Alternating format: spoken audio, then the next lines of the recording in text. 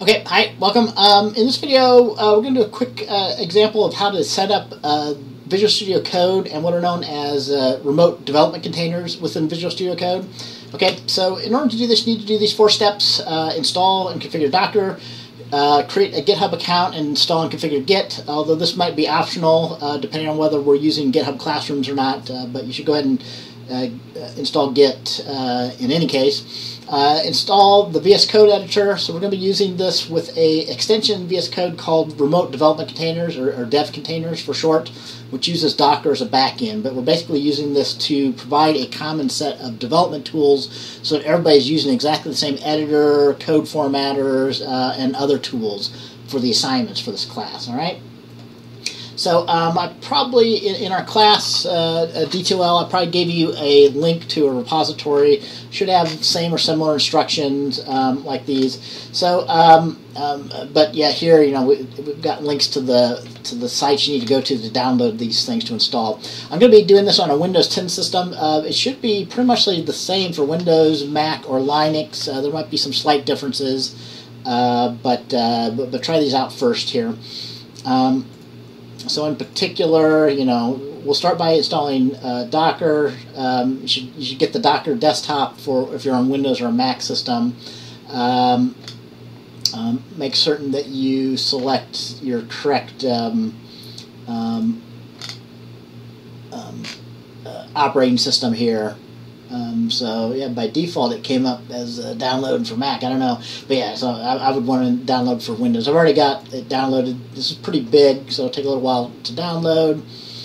Uh, but I'll show you. And this, all these are just regular installers. So um, I'll, I'll, I'll, go ahead and, and, install this here. I might have to pause the video and come back while this is installing here. Uh, but you should be able to select all the, accept all the defaults uh, for the installation here. By default now, uh, Docker, if you're using Windows, is I think it's uh, try to install to the WSL2, which is the Windows subsystem for Linux. Uh, you should go ahead and accept that uh, default. Uh, try and use WSL instead of Hyper-V. Okay, so um, I'm not going to add the shortcuts to my desktop. You can add those if you want to the desktop. Um, and then you know the, the download is pretty big, 500 uh, megabytes, so half a gigabyte. Um, so depending on your download speed, might take a while. The install doesn't take too long, but I'm going to go ahead and pause here and come back when this is done. So.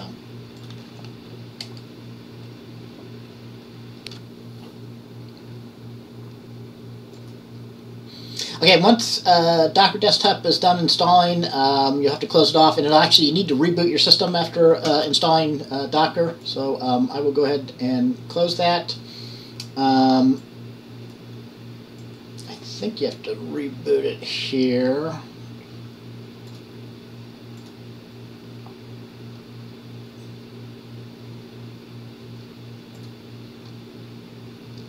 Um, it, it, it, usually sets itself up to uh, uh, restart it by hand. Um, but, but yeah, may, I'm going to go ahead and start it then because uh, I want to have it running. So when it first runs, I'll show you how this um, it'll ask you to accept a uh, um, uh, license agreement, kind of a standard thing.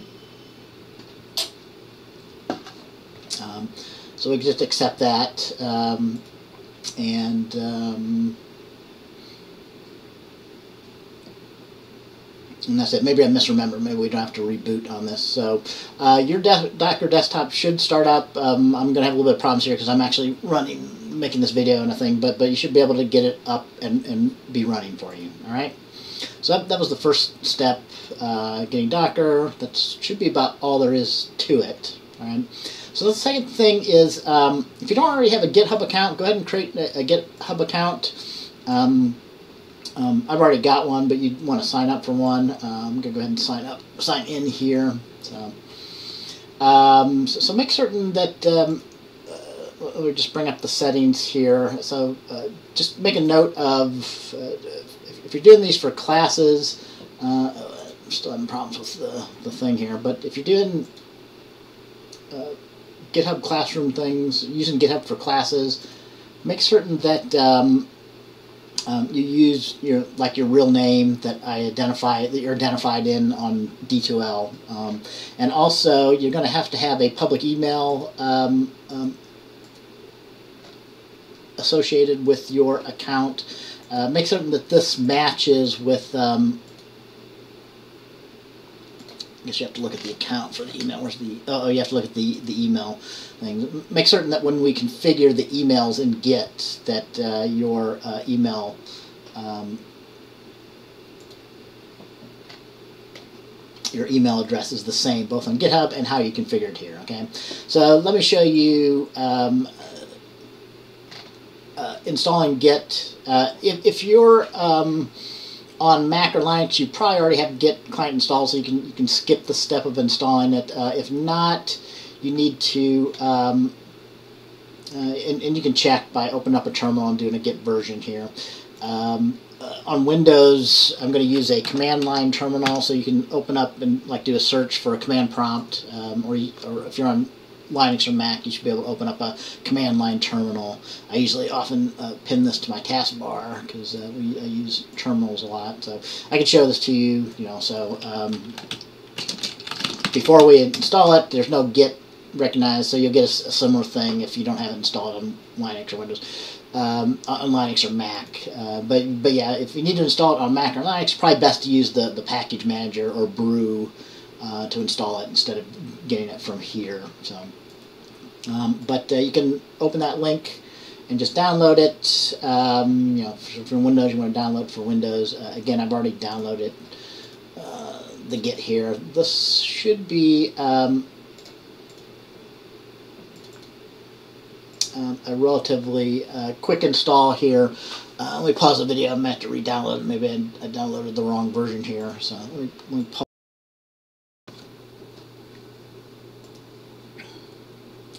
Okay, um, I'm probably downloaded the wrong one, but yeah, once you get it downloaded, again, this is a standard installer uh, for Git, although it has a lot more kind of uh, defaults. You can select, there, there's one default that I would recommend that you change here. Um, you shouldn't already have this existing here. I've, I've, installed this previously, so you shouldn't get any error messages clicking through these. But when you get to the asking about, um, you can have it leave the editor there. You can change all these after the fact. Um,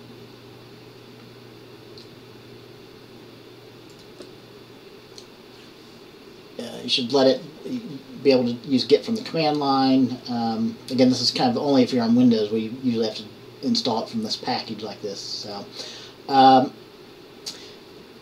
when it gets to configuring the line ending conversions, the default is to, uh, if you're on Windows systems, check out Windows style commit uh, and commit Unix style line endings.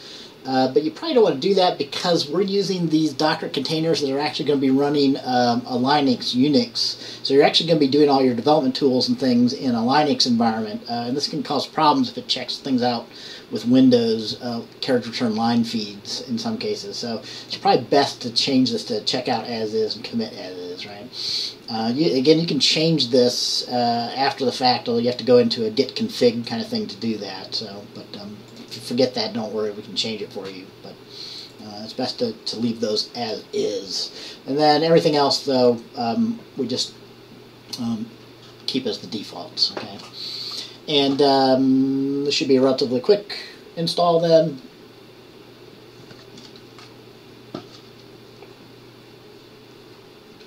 And once this is finished, um, then we have to configure a few things, including the most important thing for working with GitHub uh, classrooms is we've got to get a what's known as a secure key, uh, secure shell key generated and uploaded to our settings for GitHub. Okay, so uh, I'm not going to view the release notes or anything. So, so we're finished. So um, again, if you open up a new terminal, if, if Git is installed correctly, no matter what system you're on, Mac or Windows or Linux, you should be able to, to run git commands and do a git version. Okay, and, and we, in particular, we need to do these git config things from a terminal. Uh, there might be other ways to do this, but the easiest way is probably from the terminal. From a terminal. Uh, so we need to config the the username. This, that's two dashes there. Dash dash global user dot name, and then you need the quotes. Uh, should use your name, but I'm I'm using a uh, uh, GitHub account uh, with that uses the name TMUC student here. Um,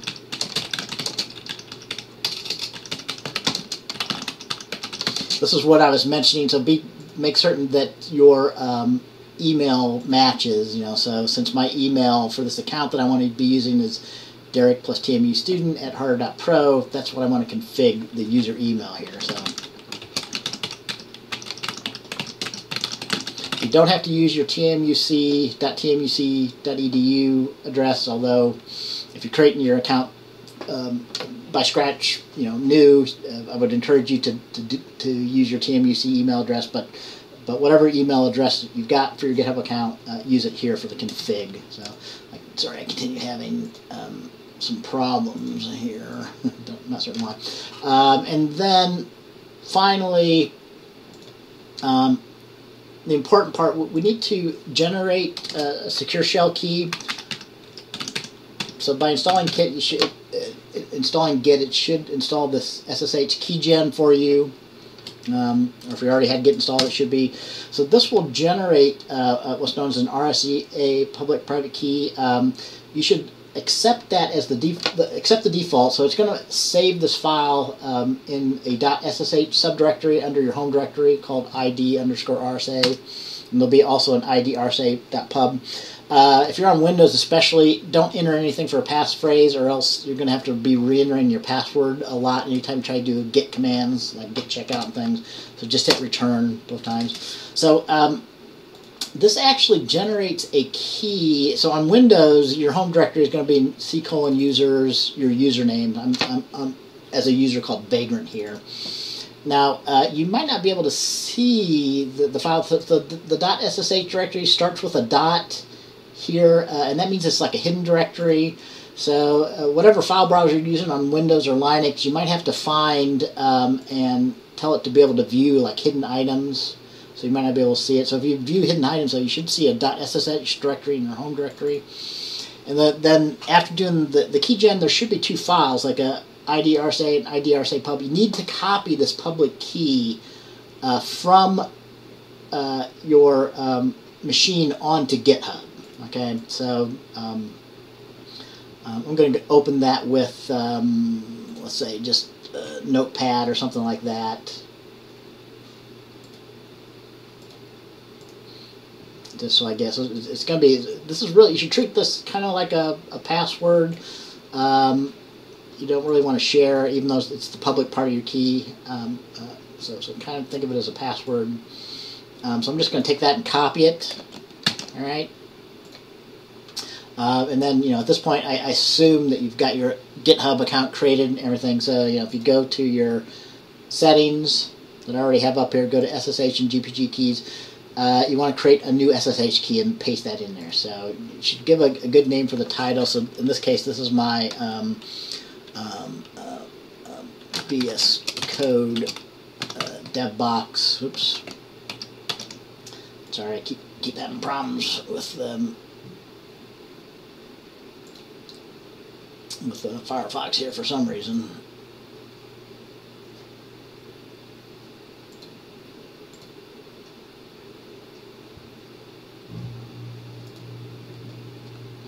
So, um,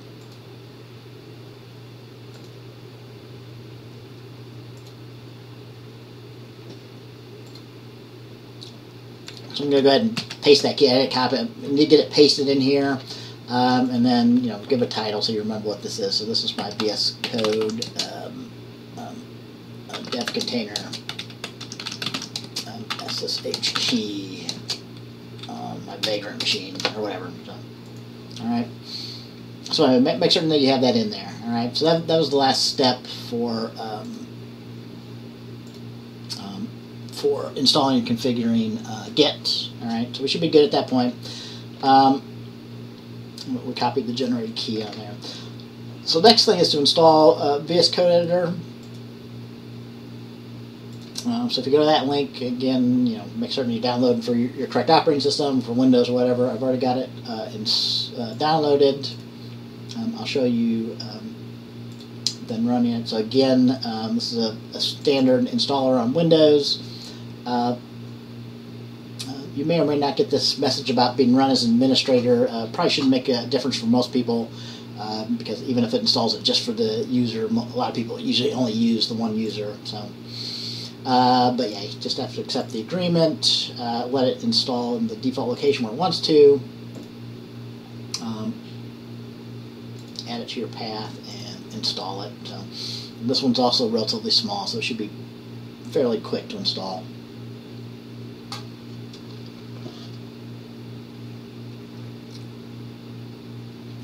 So I'll let it install here. Um, and we'll just finish. Um, and, and you know, since I left that check marked up, it, it, went ahead and started it for me, you know, so. But after, after it's installed, you should be able to find it in your search menu. Um, and, you know, this is another one that I usually like to put onto my uh, taskbar here, so I, I always have it. All right. Uh, and then the final. Uh, we have some problems on this virtual machine here. So the final. Um, go exit out some of these.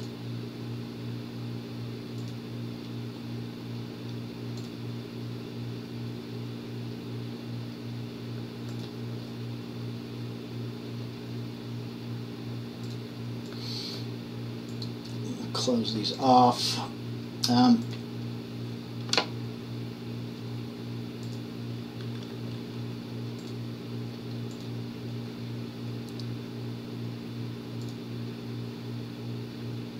so then the final um, thing, and I do need to get my code editor running here if I can.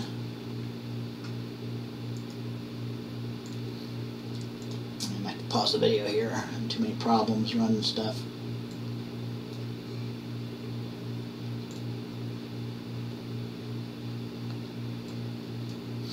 Um, so finally, and, and maybe I'll switch to something else to, to show this here, but um, um,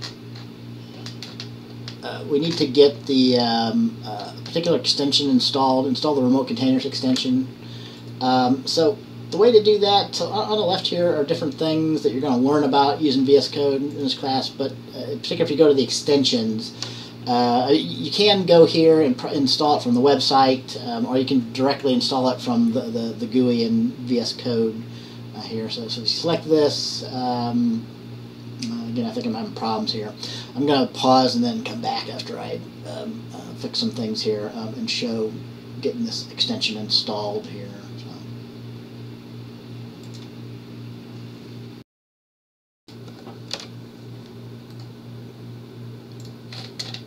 Okay, um, so uh, I have to switch over to some things, but uh, let's finish up here. So the the final the, the last step here to to get uh, everything set up to use the uh, dev containers is to install the remote containers extension uh, from inside of Visual Studio Code. So if you've got your VS Code running. Um, um, you should be able to go down to the extensions here. There's lots of ways you can install an extension, uh, but I'm going down here. You might find it uh, at the top of your recommended since you installed Docker, it kind of finds it.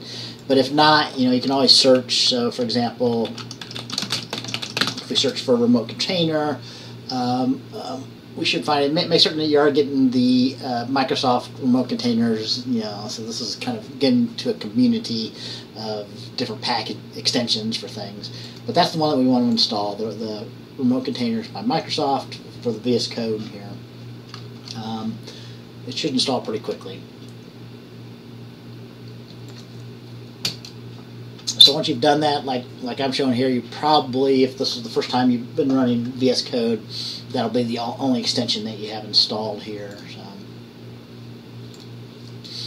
Um, all right, so let's. Um, um, so, so that's all you need to do to get the thing set up in order to do assignments for this class. Uh, let me show you real quickly then actually using the dev containers to open up a repository and work with it. Okay, so there's there should be a longer video for doing the practice assignment uh, showing these steps here. Um, but I'm going to, um, if you have a repository that's set up in order to use these uh, dev containers, um, what you want to do is you need to clone the repositories normal. This is the best way that I found to do to work with these. Um, so you want to clone the repository um, as normal. Oh, sorry, a second. I just noticed. Hopefully, this wasn't too far down here. Um, clone the repository as normal. So uh, the the best way to do that is to open up a repository that you want to clone in Visual Studio Code. Go to the code button, and you need to copy and paste the SSH so make you know this depends on you having your SSH key set up correctly. So uh, so we'll see. You'll be able to check whether you have your SSH working or not by copying the SSH URL. So I'll just copy that. Um, and then what you want to do is, um, uh, if you either go to the Explorer or to the source control, you should have an option to clone the repository. Okay, so I'm going to clone my repository. You, you paste that URL here, uh, zero or you know whatever your URL is. Hit return. I'll select. I always put my repositories in a directory called repos. I'm going to select that as the place to clone my this repository into. Um, and you know, if your SSH is set up, uh, it should clone that, which is basically making a copy of the repositories from GitHub to your local um, system. Um, and you should it should give you the option to open that up. Now here, um, if this is set up to use dev containers, you'll probably get a pop-up that says, you know, ask you if you want to reopen this in a container. You can do it that way, reopen this in a container, which is what you want to do. If you're not getting that, you should be able to open up this um, repository in a container. So what you want to do, if you go down to here underneath extensions, after you install the remote containers extension, you should see that there's a remote explorer. Um, so we can also find it and open that folder in a container from here as well. So I'll go ahead and do that. So uh, again, if we select a folder that has one of these .dev containers in it that you want to open um, um, a container, so I select the folder and say open, um, and this should, um, you'll have to say that I trust this folder um, and continue. But that should open it up inside of a Docker dev container here.